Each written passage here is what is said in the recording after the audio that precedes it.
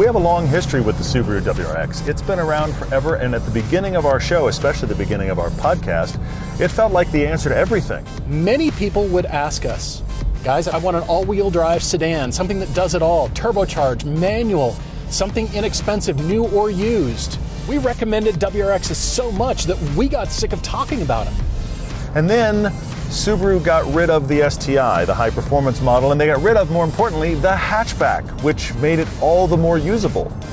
And we're left with just a WRX sedan, which this is an opportunity.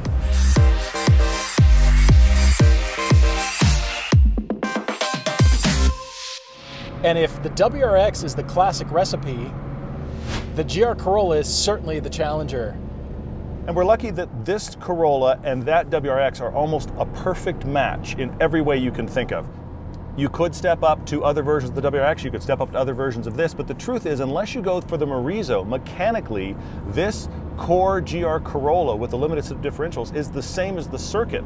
So do you need to spend extra money? These two are the better buys. You want the WRX Premium and you want the GR Corolla Core, which is this with the front and rear LSDs, those Torsen limited slips. All the cool fins and everything you're thinking of, that's all from the dealer after the fact anyway, so why not just get a core and make it look cool? So here this is within about $1,000 of what it would cost you to get that exact WRX. The WRX Premium versus the GR Corolla Core. And I'm going to argue that both of these base cars are the ones to buy great cars, great roads, and all the reasons we love to drive. Road trips, comparisons, test drives, and podcasts. This is Everyday Driver. Now, I know some of you are saying, isn't there an updated WRX? And there is. This is not the TR model. The TR model used to mean, back in the 2000s, tuner ready, which meant base stripped out, we're just giving you the guts, you make it your own. Now it's come back as the second highest trim. In fact, that one will cost you over $42,000. This is the second from the base model. But through all of the trim levels, this being the premium trim level, which is one up from the base, including the new WRX TR, there's not a power bump. There's no more power. You still get a manual transmission, which is great. We like the manual but only on the GT can you find the different modes and also variable torque distribution. That's right, Subaru has refused to build an STI. They have the GT at the top end, which we've driven with the CVT. I think if you combine the TR with the GT, that spells STI, but what do I know?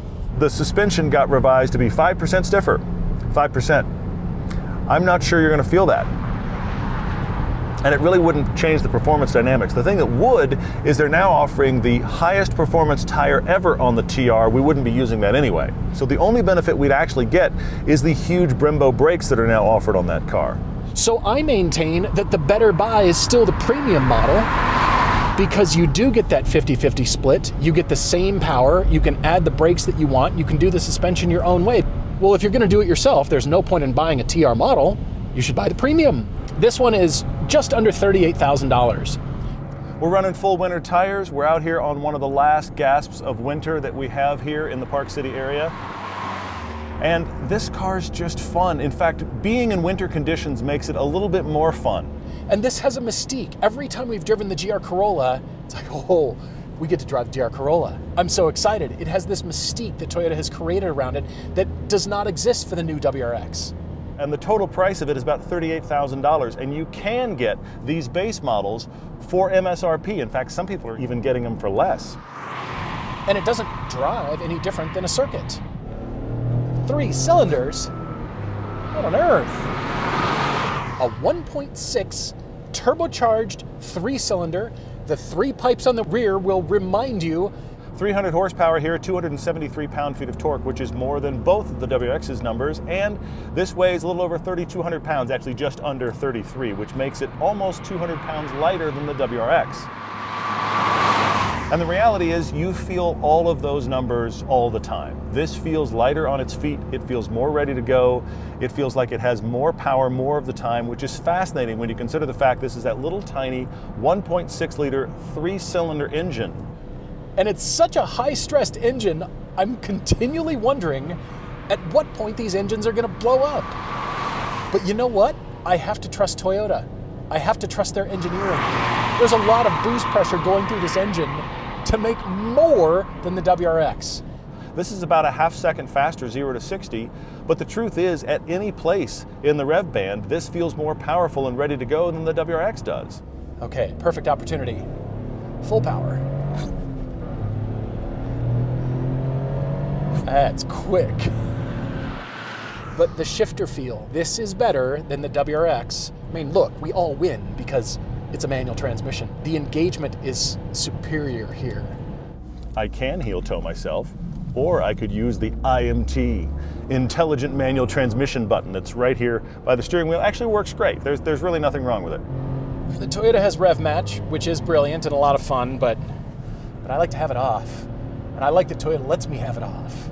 It feels like it's been engineered to have a race feel rather than the WRX trying to just go far enough.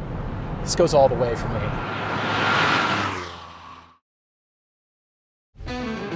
Everyday Driver is brought to you by PowerStop. Brake upgrades made easy. It has also occurred to me that in this dual car review, you will not find a turbocharged inline 4. That's right, because it's the Boxer 2.4 liter with 271 horsepower, 258 pound feet of torque. Those are both solid, good numbers, and they're almost into STI territory when they used to make an STI version of this car. Good amount of power, does not leave you lacking, but I never feel like it wants to rev as easy as the Corolla does. You have to kind of convince it more.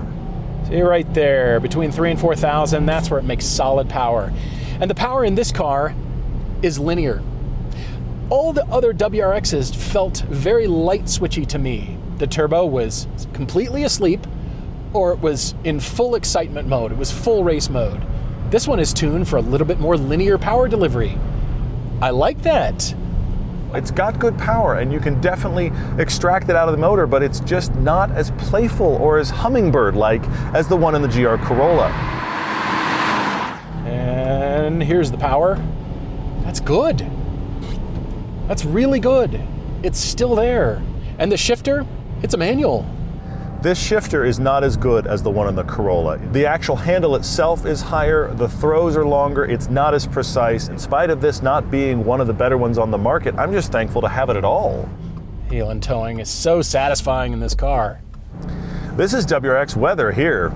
Greasy, bad visibility, bring it. One of the big reasons that Subaru is so successful with the WRX is because of weather, and we have the perfect day to do it in.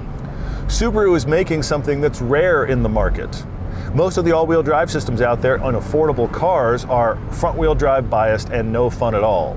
This is fully symmetrical and actually can be made to have fun. Here you get that center hydraulic clutch pack and 50-50 torque distribution. It's that Subaru symmetrical all-wheel drive. But on those old STIs, you remember the driver control, center diff control? You could control the diffs to change the handling of the car. That was the magic. These Subarus were known for the changeable center diff, that thing that the Corolla now has. You can't get that on any of these now unless you buy the top trim WRX, the GT. It's not even available on the TR. Otherwise, you're left with Subaru's great symmetrical all-wheel drive system, but no limited slip differentials at all, front or rear. So performance technology-wise, this is definitely a step behind the GR Corolla. I've always felt the WRX is so brilliant because you can just chuck it in and steer with the power. That's all I think about when I associate WRX with cornering. It's never about steering. It's always been steer with your right foot.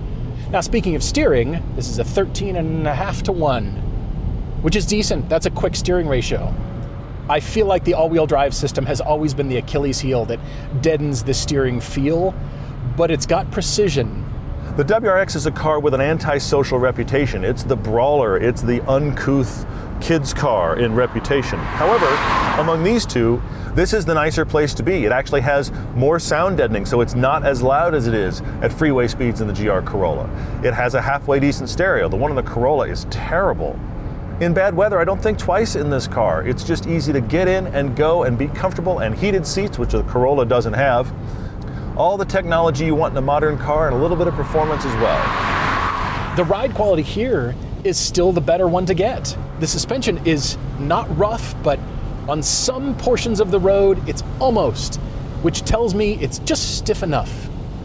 This has a two inch longer wheelbase than the GR Corolla, if you can believe it. It seems like this is the much bigger car, but the back seat is where this car wins. If you're needing that do it all car, the good news is the WRX is still great for that. 15 years ago, the WRX was kind of the only game in town. It was really the only car that people were picking in this market segment. Now it has other competition and it's lost the hatchback and it's lost the STI. I wonder how much longer Subaru will make this car. I'm glad they do, and we need to buy them if we want to keep them around. We've rounded off the uncouth parts of the WRX and we've brought it more in line with everything else in Subaru's lineup. Now, you could argue that's an improvement, but you lost a little bit of fun in the process.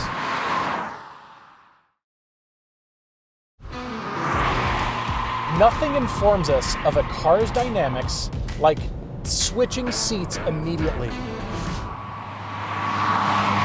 Because instantly, this car feels more alive and raw and like instant fun. When you're talking the same money, the big difference between the WRX and this Corolla is where the money went. This has more mechanical goodies and actual high performance stuff than the WRX does. This has limited slip differentials front and rear, and it has that center diff that is overdriven that allows you to actually change the torque split. Don't you wish the Subaru had the switch, that driver control switch? Well, here it is in the GR Corolla, and it'll tell you on your instrument panel 60 40. You can switch to 30 70, throwing 70% of the torque to the rear, and then if you push it, it goes into track mode. I haven't even gotten to the drive modes yet, and no, this does not have adjustable dampers, but in sport mode, this car feels instantly alive. Toyota has accomplished this by a central gear that overdrives the rear and then they can move the torque around because the axles aren't being driven the same. That has created some issues. You probably heard about overheating of the all-wheel drive system in this and this car in the middle of a track day will default to a front-wheel drive car. There's no real consensus. This is an online discussion, but it seems to be that the exhaust is actually too close to the sensor that tells the diff when it's overheating.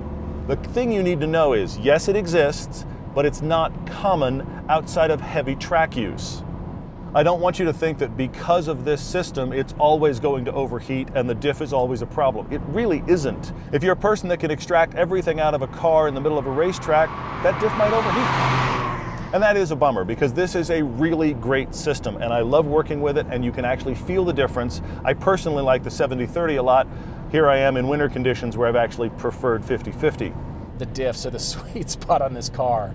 Because just like the Subaru can turn with throttle, you can do the same thing in the GR Corolla. You actually have more control and more choice. It has a quicker steering ratio than the WRX.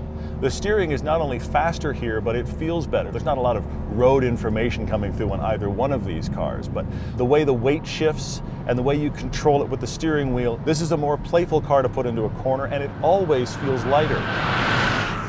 This thing rotates. On track, it's very apparent. But I feel like the WRX is a little bit more precise. I feel like there's it's a little bit vague here. Now, I will say that while also saying this is on winter tires. I'm feeling the tread block squish more than I'm feeling a lack of precision. The best part of the rally breeding thing is that they've taken a base car and created magic with it. The money went into the mechanicals, and that means the interior here is a little cheap. In fact, it reminds me of the old Evo 10 from Mitsubishi, where there was tons of great technology there, but inside it felt like a cheap car. This Corolla is exactly the same. But I don't care that the interior is so base. It's what I asked for.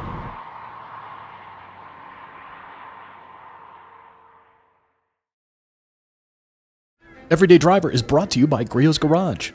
Use the code DRIVER10 for 10% off your order. Toyota did exactly what I wanted with the Corolla XSE. Put wider fender flares on it, make it look like a rally car, make it more aggressive because the styling is actually better suited to wider fender flares, to making it look aggressive like this. Sure, I want the carbon fiber roof. I don't care that it's not here. I don't care that the spoiler's not here. I just like that enthusiasts will notice but everybody else will just kind of say, oh, it's just a little red hatchback. It's interesting to drive both these cars back to back when you know they cost the same, and both of them are under 40 grand. Because the interior of this Corolla is cheap. There's no way around it. There's, there's hard plastics here that aren't the best. In fact, sitting here, I wish I was in the WRX because even though those aren't the super awesome Recaros that are available in the upper trim models, these seats aren't good enough. I really prefer the seats in the Morizo. These seats on the base Corolla and even the Circuit Corolla, they need better adjustment, especially in the lumbar. I do wish for a little bit better seats, but these seats in the core grade very much match the premium grade seats in the Subaru because they almost squeeze me. They're almost supporting. They want to be more, but it's like the seats were told, do not support a little bit more because we have the bigger brother seats to sell. Because this is the very base model, these seats aren't even heated, and if I were going to buy this as a winter car, I would want to pay the extra to get the winter pack and get the heated seats. It does feel like Corolla. The screen feels tacked on, and I don't care. It doesn't feel like an expensive car, and that's part of the charm. Actually, that's all of the charm. Back seat space is not great for anybody, maybe kids, but and the rear hatch, well, it's a hatchback. What do you want? So the hatch is surprisingly small, but at least you got a hatchback. It's dark in here, it's a sea of black plastic, there's no sunroof, but the visibility is fine. There's nothing problematic with this interior, but you don't get any frills. There's no extras. Of course, it does have all the safety features that Toyota's putting on everything. It actually has smart cruise control and lane keep assist. It will quasi-drive itself, like many of those systems will, which is surprising on a car that otherwise feels so decontented.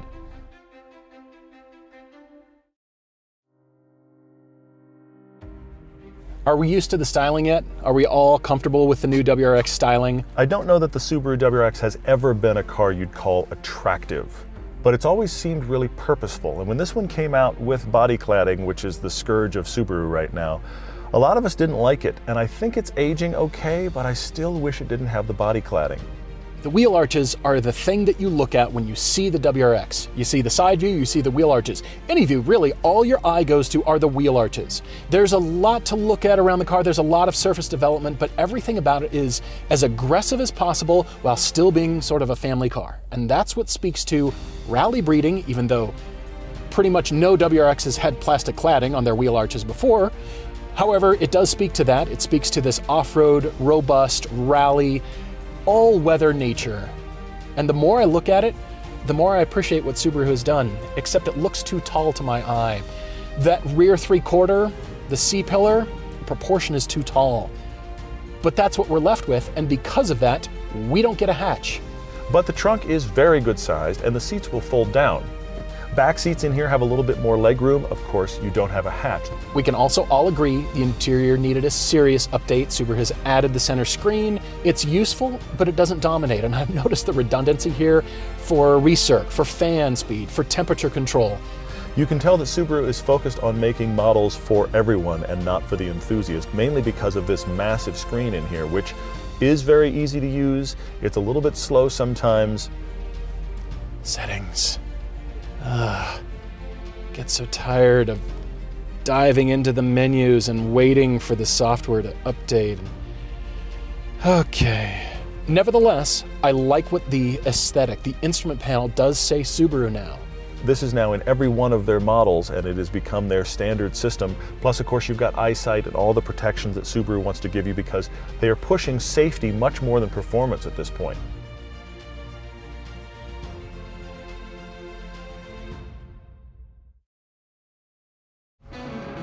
Look at this weather. Is the WRX not the car you want to be in for a day like today? But then there's the GR Corolla. We must consider that. Toyota has now created that halo, that mystique, that desirability, which I don't think a regular WRX has, or the GT or the TR. I don't think it has that deep desirability. In our effort to not talk about the WRX too much, I think we may have overlooked it a bit too much because this is still a fantastic do it all car. And I'm thrilled that Subaru continues to make it. This deserves to be a legend. It maintains its own status as a, okay, you want an affordable four seat all wheel drive, do it all family sedan with a little bit of fun? WRX used to be, still is. The difference in driving fun, and, and I'm being picky to say this, is that WRX is willing to have any kind of driving fun you'd like, and the GR Corolla is excited. Isn't the point of these cars just to have fun? Isn't that the whole point of both of these manufacturers building them? There isn't a point in time where this car doesn't entertain you, and that is worth your dollars. That is why you should consider a GR Corolla.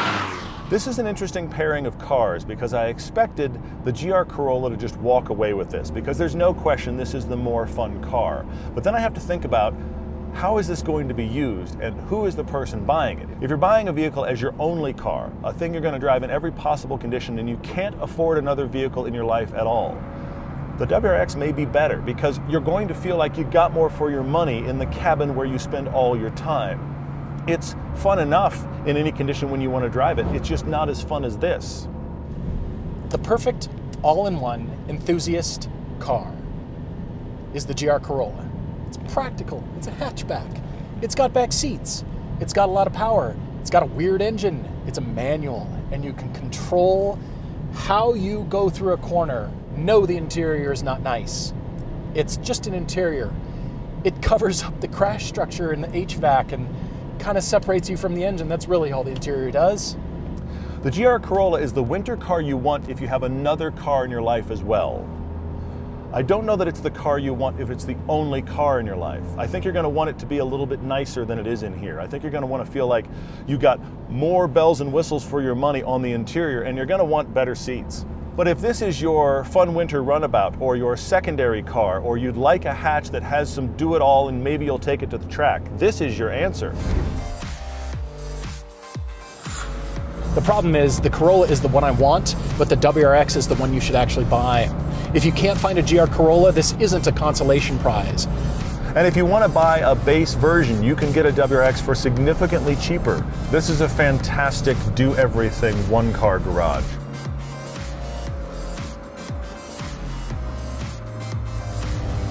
I feel like what you're trying to achieve by tuning a WRX is already available right here in the GR Corolla, the core with the LSDs.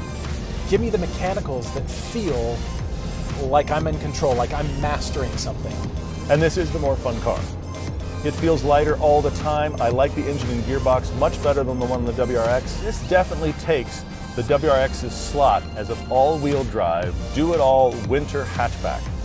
Subaru is missing out by not offering that anymore.